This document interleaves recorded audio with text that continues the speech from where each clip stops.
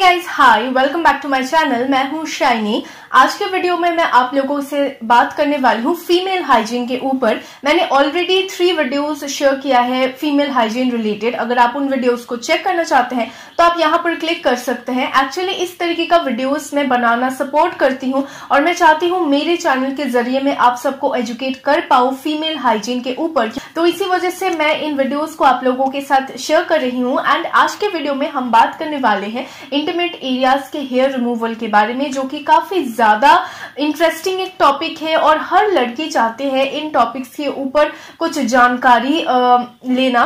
सो so, आज की video काफ़ी ज़्यादा हेल्पफुल होने वाली है। मेक श्योर sure आप इस वीडियो को एंड तक ज़रूर देखिए और वीडियो पसंद आए तो वीडियो को लाइक कीजिए शेयर कीजिए and don't forget to subscribe to my channel तो सबसे जो मेन क्वेश्चन है हमारे सभी के मन में आते हैं वो है कि हम उस एरियाज़ पर किस तरीके से हेयर को रिमूव कर सकते हैं क्योंकि there are lot of processes जैसे कि रेजर्स है फिर हेयर रिमूवल क्रेम्स हो गए। फिर बहुत सारे ऐसे high and you know processes भी है जो एक्सपेंसिव होते हैं, जैसे कि लेजर हेयर रिमूवल फिर वैक्सिंग्स एंड ऑल लेकिन जो सबसे ज़्यादा इफ़ेक्टिव वे है और जो सबसे ज़्यादा पेनलेस एक प्रोसेस है और सेफ़ भी है, वो है हेयर रिमूवल क्रेम्स को इस्तेमाल करना। आपको एक एक ऐसे तरीके का क्रेम इस्तेमाल करना चाहिए, जिसके अंदर किसी भी तरीके का हार्श एंड हार्मफुल केमिकल्स ना हो, जो उन एरियाज़ को इरिटेट ना करे। जैसे कि मैंने ऑलरेडी मेरे वीडियोस में बताया है कि इंटीमेट एरियाज़ पर पीएच जो है पीएच लेवल थोड़ा सा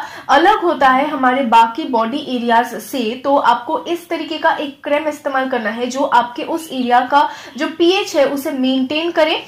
तो मैंने ट्राई किया है ये Everteen cream hair remover bikini line मतलब ये सिर्फ़ और सिर्फ़ इंटीमेट एरियाज़ के लिए ही बना है। ये सेंसिटिव और बिल्कुल माइल्ड है और सेंसिटिव स्किन के लिए परफेक्ट है। तो डाउन देयर वो एरिया काफ़ी ज़्यादा सेंसिटिव है। अगर आप अपने बॉडी पर जिस क्रेम को इस्तेमाल कर रहे हैं हेयर रिमूवल क्रेम को, वही अगर आप उस एरिया पर इस्तेमाल करेंगे तो इरिटेशन इन्फ्लेमेशन रैश हो सकती है। और ट्रस्ट मी जब हम कुछ फेस पर अप्लाई करते हैं अपने बॉडी पर अप्लाई करते हैं और रैशेज वगैरह ब्रेकआउट होते हैं तो उसे ठीक करना काफ़ी ज़्यादा आसान है। अगर आपके इंटीमेट एरियाज़ पर कुछ भी इन्फ्लेमेशन या रैश हो जाती है तो उसे ठीक करना बहुत ही ज़्यादा मुश्किल है। आपको मेडिकल हेल्प के बगैर आप ठीक नहीं कर पाते हैं। तो हमेशा आपको ये ध्यान में देना है कि आप उन एरियाज़ पर जो भी कुछ इस्तेमाल करें, आपको ये ध्यान में देना है कि आप इंग्रेडिएंट्स को अच्छे से देखें। मतलब उस प्रोडक्ट के अंदर किसी भी तरीके का हार्श एंड हार्मफुल केमिकल्स ना हो, ये भी आपको देखना बहुत ज़्यादा ज़रूरी है। एवर्टिन का ये जो bikini line hair removal cream है, ये थ्री वेरिएंट्स में आता है। The first variant is silky जिसके अंदर क्रैनबेरी एंड कुकुम्बर है। सेकेंड इज़ रेडियंस जिसके अंदर charcoal kojic acid and vitamin C है। And third variant is natural जिसके अंदर कैमोमाइल एक्सट्रैक्ट है। तो they have come up with two new variants क्योंकि ऑलरेडी एक वेरिएंट जो ये नेचुरल वेरिएंट है, ये ऑलरेडी था। मैंने काफ़ी बार नायका में देखा है। लेकिन they have recently launch two new variants of this bikini line hair removal cream जो कि अलग अलग स्किन टाइप के लिए अलग अलग स्किन इश्यूज़ के लिए और स्पेसिफिकली बनाया गया है। Let me first talk about the natural variant जिसके अंदर कैमोमाइल एक्सट्रैक्ट है। द बेस्ट पार्ट इसकी एवर्टिन के जो भी सारे bikini line hair removal cream है, उसके अंदर किसी भी तरीके का ऐसे हार्श फ्रेग्रेंस नहीं है। बहुत सारे ऐसे हेयर रिमूवल क्रेम्स मैंने इस्तेमाल किए हैं, जिसके अंदर इतने बुरे स्मेल होते हैं। कि मैं उसे लगाना ही नहीं पाती। मतलब इतने ज़्यादा स्ट्रॉन्ग एंड हार्श फ्रेग्रेंस होते हैं बट इसके अंदर इस तरीके का कोई फ्रेग्रेंस नहीं है। इनग्रोन हेयर भी नहीं छोड़ता ये। अगर आप रेजर इस्तेमाल करते हैं तो रेजर बम्स हो सकते हैं, लेकिन इसको इस्तेमाल करने से इस तरीके का कोई बम्स या रैशेस नहीं होता है। कोई कट्स बर्न्स कुछ भी क्रिएट नहीं करता। इनफैक्ट स्किन को डार्कन नहीं करता है। और ये सेंसिटिव स्किन के लिए स्पेशली बना हुआ है। आपके इंटीमेट एरियाज़ की जो स्किन है, उसके लिए स्पेशली ये बना हुआ है तो बहुत ही ज़्यादा इफ़ेक्टिव होगा। And the best part is this is really affordable सिर्फ़ वन फोर्टी में आपको ये इतना बड़ा ट्यूब फिफ्टी ग्राम्स का ट्यूब मिल रहा है। दैट ऑल्सो आप इसे डिस्काउंटेड प्राइस में और भी ज़्यादा अफोर्डेबल रेट में परचेज कर सकते हैं। अब बात करते हैं कि आपको इसे इस्तेमाल कैसे करना है। फ़र्स्ट आपको इसको सफिशिएंट क्वांटिटी में लेना है। इसके साथ एक स्पेचुला भी आता है विच इज़ रियली माइल्ड बिल्कुल भी हार्श या कुछ ऐसे प्लास्टिक से वो नहीं बना है, जो आपको स्किन आपके स्किन में इरिटेशन क्रिएट करेगा। तो आपको उस क्रेम को उस स्पेचुला के पीछे के पोर्शन में लेना है और फिर अप्लाई कीजिए। डायरेक्टली अपने हेयर जहाँ पर आप रिमूव करना चाहते हैं, वहाँ पर अप्लाई कीजिए।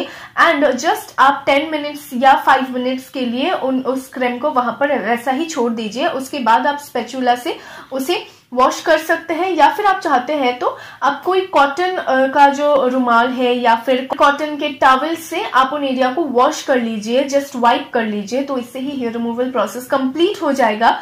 एंड फॉर बेस्ट रिजल्ट्स आप ट्रिमिंग कर सकते हैं अपनी हेयर की। जब आप इस तरीके का क्रेम इस्तेमाल कर रहे हैं, उससे पहले आप ट्रिमिंग कर लीजिए।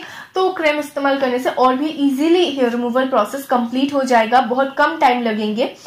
ये जो नेचुरल वेरिएंट है ना, इसके अंदर केमोमाइल एक्सट्रैक्ट है, जो कि सूदिंग के लिए काफ़ी अच्छा है। काम करता है आपके स्किन को और स्किन डार्कनिंग बिल्कुल भी नहीं करता। एक हल्का सा रेडियंस छोड़ता है स्किन में।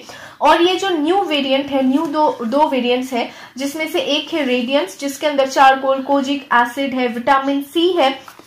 तो ये जो इंग्रेडिएंट्स है ना these ingredients are really really beneficial क्योंकि ये रेडियंस के लिए काफ़ी अच्छा है। इनफैक्ट आप इसे सिर्फ़ और सिर्फ़ अपने इंटीमेट एरियाज़ पर ही नहीं बिकनी लाइन पर ही नहीं, आप अपने अंडर आर्म्स पर भी इस तरीके का ये जो क्रीम है, इसे इस्तेमाल कर सकते हैं। इनफैक्ट ऑनेस्टली स्पीकिंग मैं अपने हैंड्स एंड लेग्स पर एंड अपने जहाँ पर भी मुझे हेयर रिमूवल प्रोसेस चाहिए, मैं इस क्रीम्स को ही इस्तेमाल करती हूँ, क्योंकि मेरी स्किन बहुत ही ज़्यादा सेंसिटिव है।